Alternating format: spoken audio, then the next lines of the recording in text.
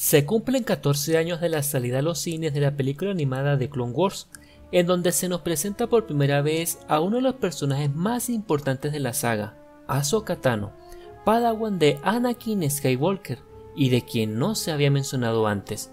La trama se desarrolla entre el ataque de los clones y la venganza de los Sith, mostrándonos un poco más a fondo cómo se vivía en la galaxia durante esa emocionante época.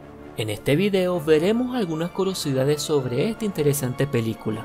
El director Dave Filoni propuso originalmente que Ahsoka Tano fuera la nueva Padawan de Obi-Wan Kenobi, pero George Lucas insistió en que sería el aprendiz de Anakin. Cuando Ahsoka se dirige a los clones de la Bella del Hangar, un droide rosa está de pie junto a Artuditu.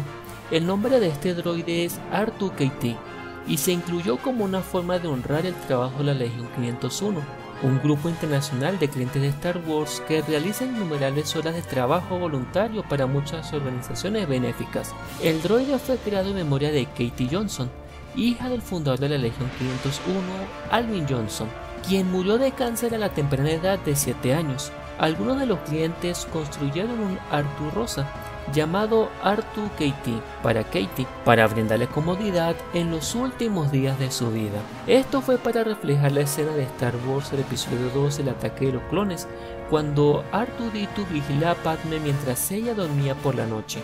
Cuando Matt Lanter hizo la audición, le dijeron que estaba leyendo para el papel de Dake Starkiller y que lo interpretará como un cruce entre Luke Skywalker y Han Solo. Solo cuando tuvo el papel se le dijo que interpretaría a Anakin Skywalker. Ashley Eckstein originalmente audicionó para la voz de Padme Amidala, pero le dijeron que sonaba demasiado joven.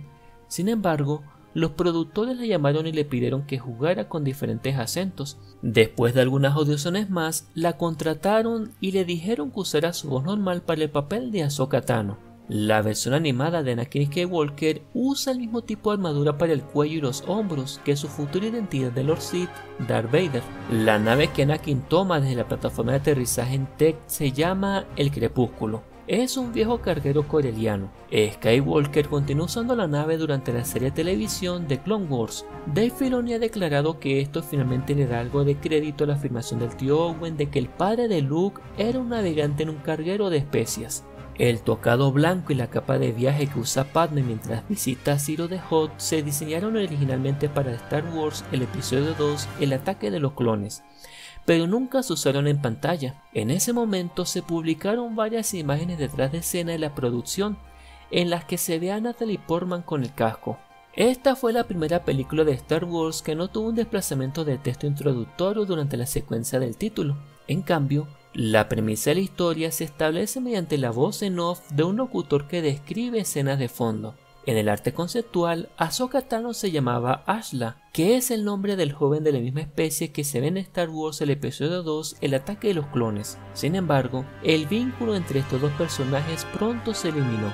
El Capitán Red se basa en los cómics IRC Trooper Alpha de Dark Horse, pero al darse cuenta de que ya había otros tres personajes cuyo nombre comenzaba con el sonido A, Anakin, Artuditu y Ahsoka, George Lucas optó por el nombre Reds. Esta película tiene cuatro escenas eliminadas. Estas escenas incluyen, a través de las filas, una escena extendida de Anakin y Ahsoka escabulléndose a través de la línea enemiga.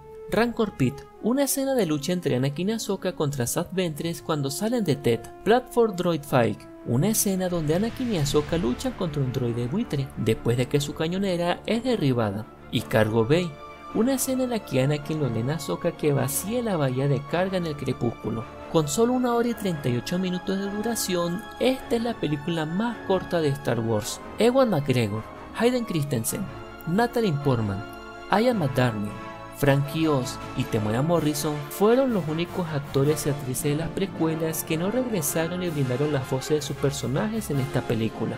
Sin duda la película de Clone Wars de 2008 nos sirvió como abrebocas para la gran serie La Guerra de los Clones que todos amamos y disfrutamos. Si quieres saber más sobre The Clone Wars puedes escribir en la caja de comentarios. También puedes darle like a este video y seguir activando la campanita. Y recuerda, que la fuerza te acompañe siempre.